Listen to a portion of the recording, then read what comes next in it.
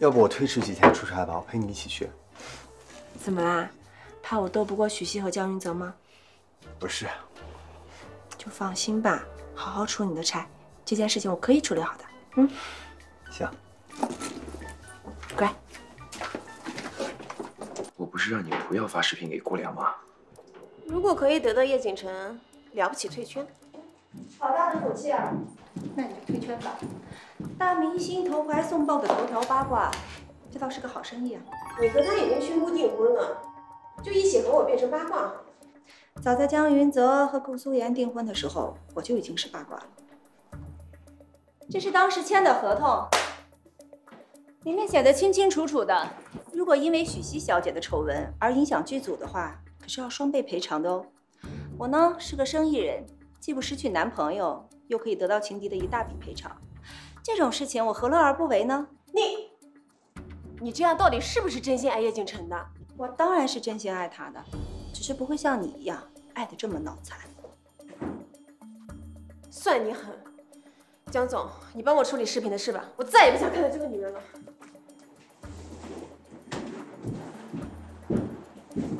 那他跟硬刚到底怎么办？那我就只能认输。江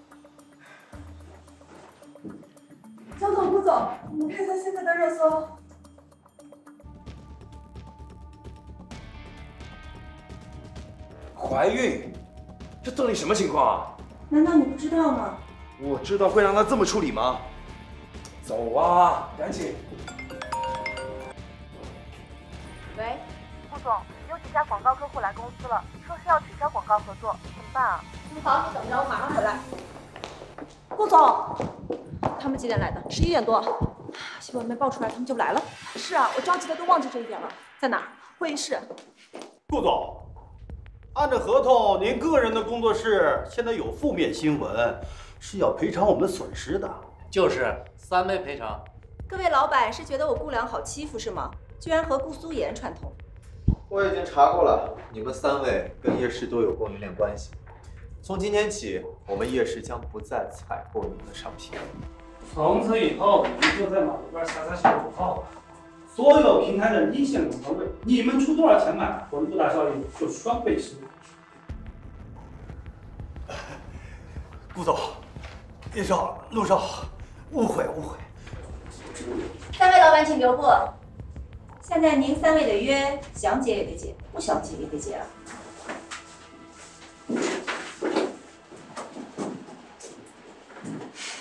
这有你什么事儿啊？这是我女朋友的公司。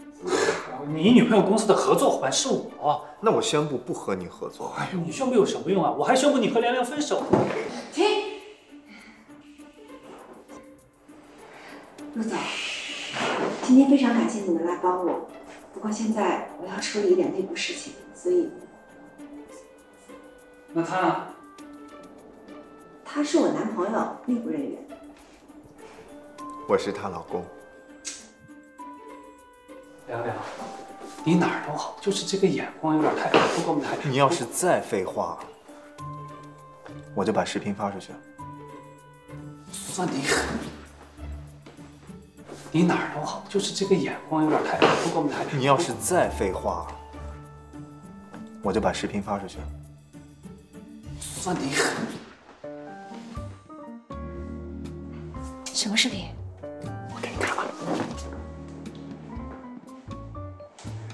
这是他第一百次视频的视频，前面还有九十九次。你怀孕了？你为什么不早点跟我说要去现场闹新闻呢？我怕你不要孩子，也不要我了。我们重新开始好吗？节约了欠爸爸这么多钱。但只要我们结婚了，他就不会再追究那笔钱了。我们这部戏已经到尾声了吧？徐熙小姐马上就要杀青了，她说准备回美国休息一阵子。那她不配合我们做别的宣传了吗？那就让许熙小姐好好休息一段时间吧。这次我们主要推女二号，下一部戏再让她搭配陆冉来一部双女组的电视剧。陆冉生完了吗？她早就生完了，现在巴不得赶快回来拍戏呢。顾总，最近因为顾素颜的事情，大家都在观望。会不会影响我们的播出啊？这种事情你们不用担心，有我陆大少爷在，你们还怕什么呢？陆总，你是怎么做到每次都不打招呼就闯进来的？姑姑，你说你每次有困难都不找我，你搞得人家好伤心呀、陆总，你能不能每次都这样正经点儿？我很正经我对你一见钟情，再生欢喜，三天三夜我都睡不着觉呢。那就说说我们家的实力吧。你知道的，银院、网站甚至垄断了各大媒体的广告招商，这几年在地产投资圈也是风生水起。而我陆少九代单传嫡长子，说起相貌那更是人中吕布，马中赤兔，吕布骑马，潇潇洒洒呀。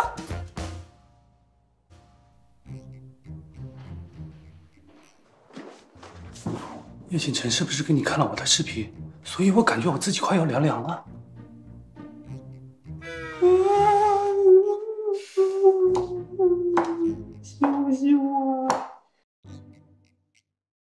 苏妍，恭喜你怀孕要做妈妈了。顾良，你不用说这种虚伪的话。你来这儿干什么？你早就不是我们顾家的人了。叔叔，你说我是顾家的人吗？我是顾家亲生女儿的这件事情我已经知道了。你让我叫了你这么多年的爸爸，为的就是遗产吧？说什么呢？这是我和你们的 DNA 报告，我保留追溯家族遗产的权利。顾良，你到底想干什么？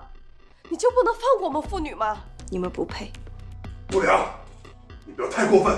我明天要在头版头条看到苏妍怀孕抑郁而误会我的新闻，不然你们就等着收律师信，分家产吧。